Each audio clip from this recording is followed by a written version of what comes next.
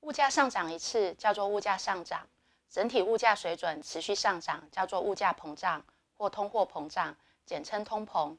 由前面的定义，我们可以知道，当一商品的涨价或者是涨幅不大，都不能算是通货膨胀。一般性的通货膨胀会造成货币贬值，购买力下降，也就是以前能买到一分货的一分钱，现在却只能买到半分货，也就是货币不值钱，钱变薄了。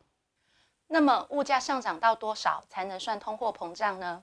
事实上，因为各国而有所差异，也就是各国对通货膨胀的忍受程度有所不同。例如，墨西哥的物价膨胀率通常是二十 percent 以上，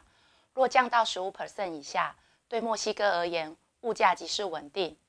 然而，对我国而言，物价膨胀率达到百分之五，即可称为通货膨胀。因此，物价超过正常的上涨幅度，即称为通货膨胀。为计算物价上涨率，各国都有专门的单位，定期收集各种商品及劳务的价格资料，然后编撰出物价指数。我国即是由行政院主计总处负责。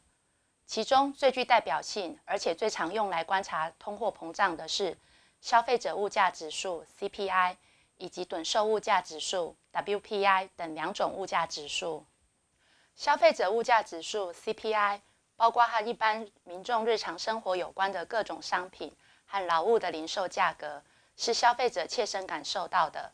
而趸售物价指数 （WPI） 是用来反映大宗物资，包括原料、中间产品及进出口商品的批发价格，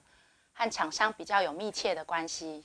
通货膨胀引起的原因包括需求拉引型、成本推动型。预期心理与输入型等四种通货膨胀。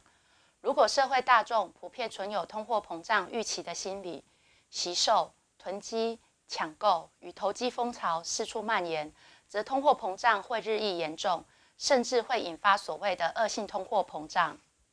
此时价格上涨剧烈，人民对货币的信心荡然无存，整个社会的经济、金融失去依据，可能无法正常运作。政治与社会的不安定也伴随而来，因此各国对于通货膨胀都非常的关注。